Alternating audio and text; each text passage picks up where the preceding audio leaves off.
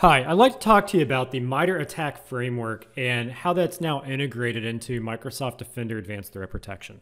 Let's take a look.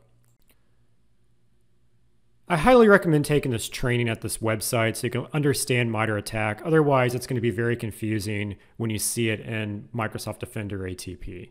I highly recommend checking this out.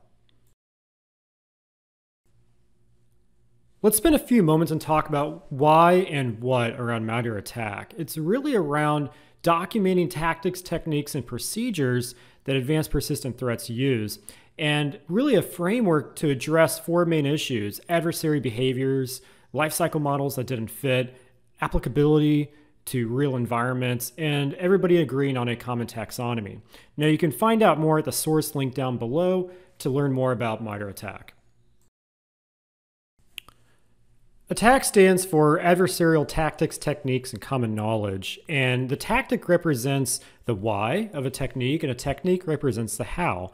And really, what I like about ATT&CK is it's a knowledge base of these techniques, and each technique includes information to understand how a technique works in the context of surrounding events, and also it organizes these into a set of tactics to help explain and provide context for each of the techniques. And check out the source link down at the bottom to learn more about MITRE ATT&CK. Okay, now let's talk about ATT&CK and its integration into Microsoft Defender Advanced Threat Protection. I think it's really important to understand why Microsoft integrated ATT&CK framework into Defender ATP, and it's really to help you better understand an alert, understand its impact on the environment, and help you determine the scope of breach when you're doing your investigation. Okay, now let's see ATT&CK framework integrated into Microsoft Defender ATP in action.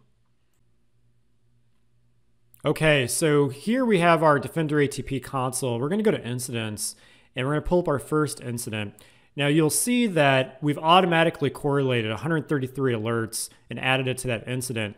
And across those 133 alerts, we observed seven MITRE ATT&CK tactics uh, in those alerts. And this purple chart here, if I hover my cursor over it, will explain each one. So initial access was observed, execution was observed, persistence, defensive evasion, credential access, discovery, and lateral movement. Now, if we click on alerts, over here on the right side, we'll see a category of those different types of alerts. And just like we saw before, it aligns with MITRE ATT&CK. And so here I can go in and let's click on an alert like uh, suspicious activity. And right here, I can see the technique it maps to in the MITRE ATT&CK framework, custom command and control protocol. Now, when I click on that, it's going to take me out and show me a little bit about that uh, technique. And I can even see some examples of, of this that were observed in the real world, which I can read more about to just understand how attackers will get in. Now, if we go back, let's open up another alert. Uh, let's do oh, persistence here.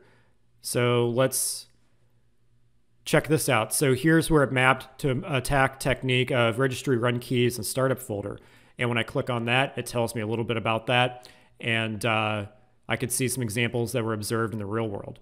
Now, what's awesome about MITRE ATT&CK is, again, it organizes these into a nice uh, matrix here that helps me get a better understanding of each phase of the kill chain, um, what's being done in that in each phase, and then when I click on those, I can understand how it's being done, so I can better protect myself. So if we go back to Defender ATP for this specific item, uh, actually let's go to the next one. Anomalous task was created. Well, here I can see that this maps to scheduled task, and I can learn and understand a little bit about this. So then I can put better defenses in place to be able to protect my environment from scheduled tasks getting automatically created. Now that's just an example. Now, if we go back to home here, as you can see, there's a lot of great information. If you go to exfiltration as an example, automated exfiltration, here's some of the different examples that we've seen out in the wild of how attackers will automatically exfiltrate data. Uh, one of my favorite ones is just initial access. So here's different ways that uh, attackers will get into the environment uh, to be able to do harm everything from spear phishing to drive-by attacks to you name it. And then once they're in, here's how they gain persistence, which I think is is really awesome that MITRE has documented all of this. Well, folks, that is the integration of the MITRE ATT&CK framework into Defender ATP. Again, it just helps you understand the scope of the breach. It helps you understand how to go from here. And uh, it's just more information on your fingertips. I can go on and on about the MITRE ATT&CK framework, but I want to respect your time. I highly recommend taking the online training.